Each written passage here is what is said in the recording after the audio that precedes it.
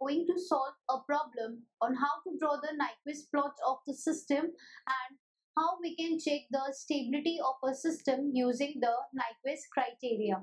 So let's take a problem.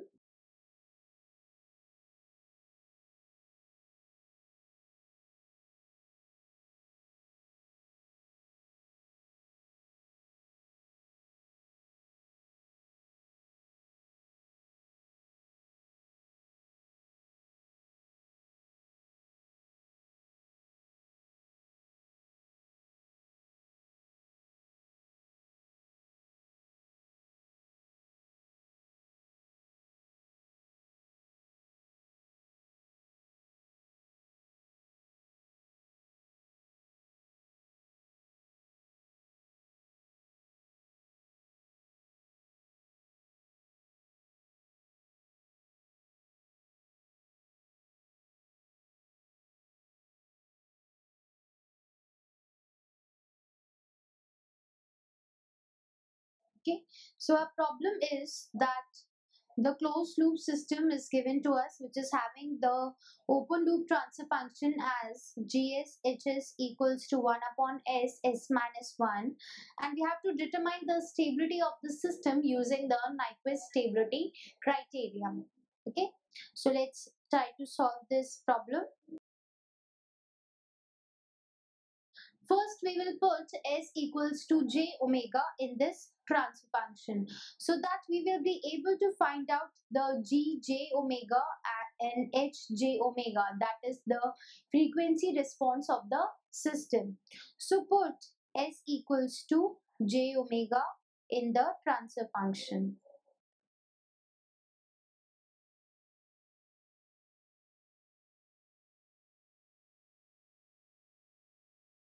Okay? So putting here we will get g j omega h j omega.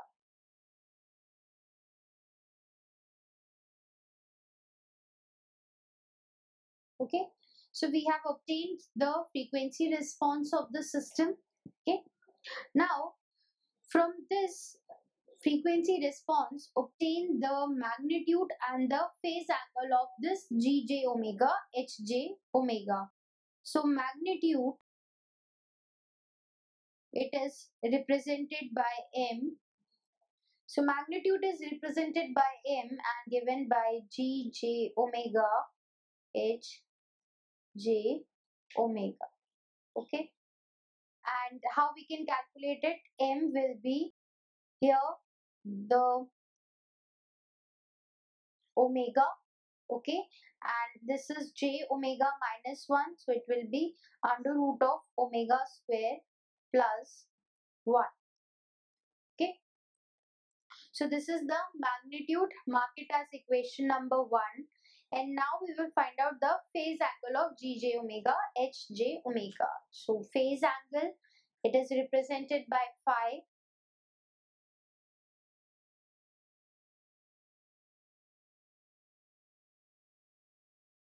it will be here we have 1 so it will be tan inverse of 0 upon 1 because here imaginary part is 0 only real part is present so it will become 0 for the numerator.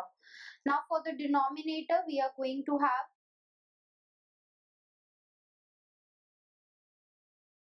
minus tan inverse of omega upon 0 minus tan inverse of omega upon minus 1 okay?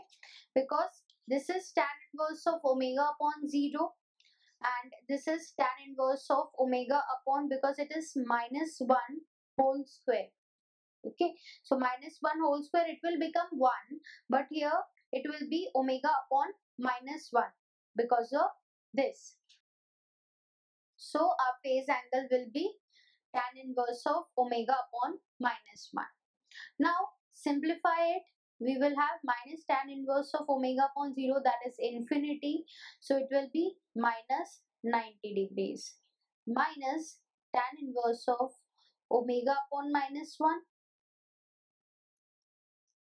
So we can compare this lying in the second quadrant that is x minus minus x plus i y okay?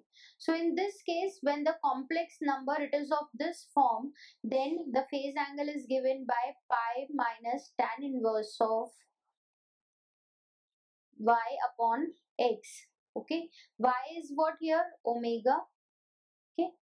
So this will become pi minus tan inverse of omega upon 1 simplify it we will get minus 90 degrees minus pi plus tan inverse of omega. So phi will be minus 270 degrees. Pi is 180 degrees. So 180, 90 degrees, 270 degrees plus tan inverse of omega. Mark this equation as second. So using this first equation, first equation was for magnitude and second equation is for the phase angle. So using these two equations, we are going to form a table and then we will plot the polar plot. So in this table, we will vary the value of this omega from 0 to infinity and for the various values of omega we are going to find out the magnitude and the phase angle.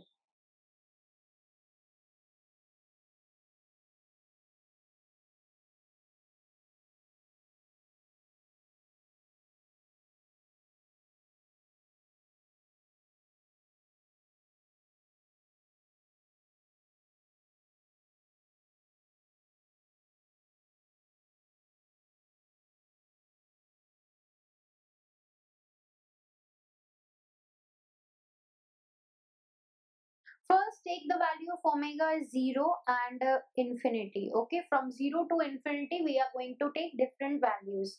Let us suppose 0 0.5, 1, 2 and 5. We have taken these six values. Now we are going to calculate the magnitude and the phase. Magnitude, we have the equation as this. So putting omega equals to 0, 1 upon 0 will be infinity. So magnitude will be infinity for omega equals to 0. Here putting omega 0, so it will become minus 270 degrees plus tan inverse of uh, 0 degrees. So tan inverse of 0, it will be 0. So the phase angle will be minus 270 degrees. 0 0.5 putting in the magnitude equation 1 upon 0 0.5 under root of 0 0.5 square plus minus 1 square. So the magnitude comes out to be 1.8 and here tan inverse of 0.5. So the phase angle will be minus 243 degrees. Similarly for other values calculate m and phi. So for omega equals to 1 for omega equals to 2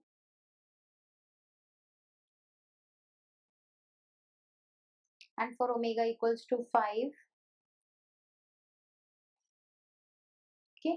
Now omega equals to infinity magnitude will be 0 because 1 upon infinity it will become 0 and here tan inverse of infinity 90 degrees. So minus 270 plus 90 it will be minus 180 degrees. So we have got the m and phi for different values of omega now let's plot the polar plot for this system because polar plot it is the plot of the magnitude and the phase on the polar coordinates where we are varying the value of omega from 0 to infinity. So let's plot the polar plot for this system. This is the imaginary axis and it is the real axis. Okay divide the real axis on the basis of the magnitude because magnitude we are going to plot on the uh, real axis so it is 0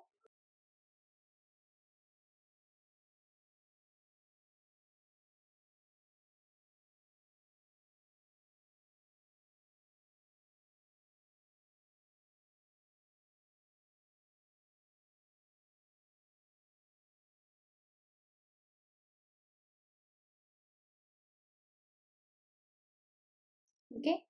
Now from the table see that for omega equals to 0 the magnitude is infinity and phase angle is minus 270 degrees. So minus 270 degree we have 0 degrees. This is plus 90 minus 180 this is minus 90 degree. So 0 minus 90 minus 180 minus 270 degrees.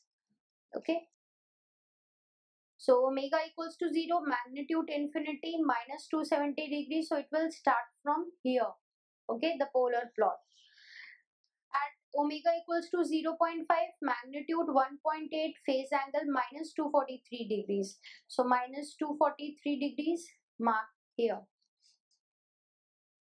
Always remember that the negative phase angle in the polar plot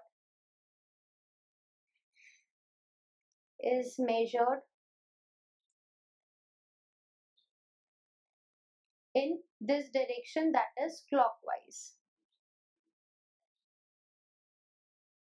Okay, we are measuring it in this direction. So minus 243 degrees, it will come here. Okay, for omega equals to 1, magnitude is 0.71, phase angle is minus 225 degrees. So draw the angle minus 225 degrees then minus 206 then minus 191 okay this is minus 191 degree minus 206.6 degrees. Okay this is for omega equals to omega equals to 5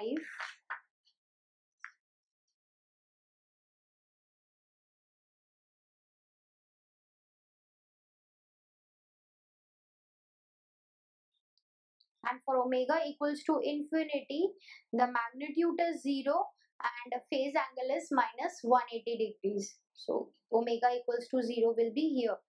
For omega equals to 5 phase angle is minus 191 and the magnitude is 0 0.04 so it is somewhat here 0 0.04 then for the 0.5 we have 1.8 0.71 0.22 so mark all these points okay?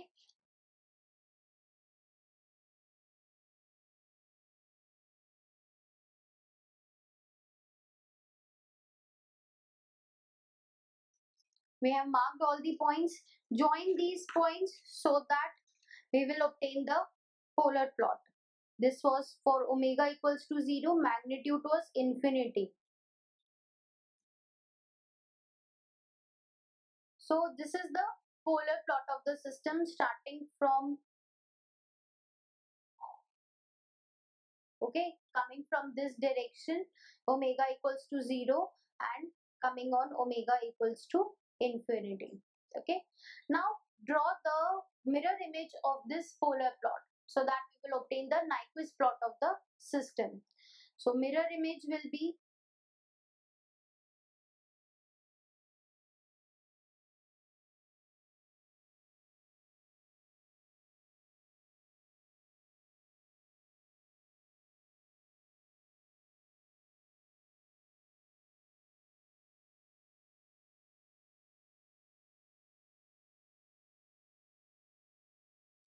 this is the mirror image of the polar plot and here we are having the point minus 1 plus j0. So to check the stability, we have to see that what are the number of encirclements of this point minus 1 plus j0. Okay, this was our Nyquist plot of GSHS transfer function was 1 upon s, s minus 1. Okay. So to check the stability, we will now see the encirclement. Encirclement, we have one encirclement here and as this encirclement is in clockwise direction okay so if the encirclement is in clockwise direction we have to take it as negative so it will be minus 1 one encirclement in clockwise direction so n will be equals to minus 1 so to check the stability,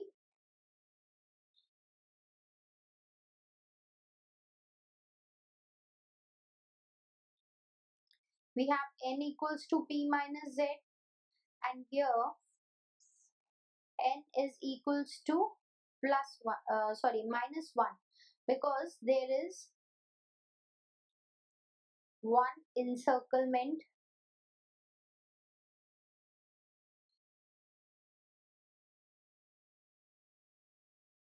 of point minus 1 plus j0 in clockwise direction.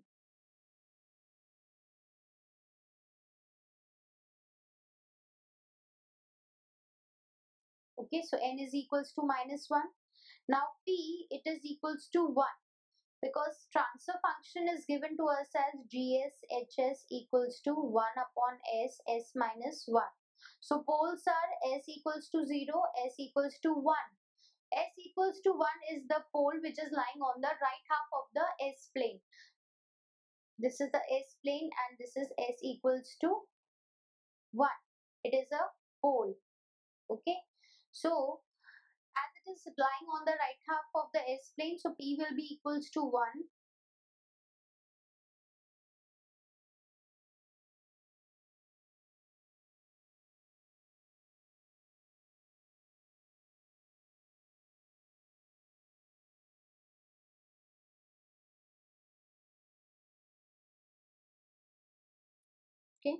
Now putting n equals to minus 1 and p equals to 1 here. So z will come out to be 2. Okay. Because z will be equals to p minus n. p minus n. n is minus 1. p is 1. 1 plus 1 it is 2. So the system is if z is not equals to 0 okay? Then the system is unstable okay? Because system is having z equals to 2 so system is unstable okay? So in this way using the Nyquist criteria we have find out the stability of the system. So i hope this problem is clear to you. Thank you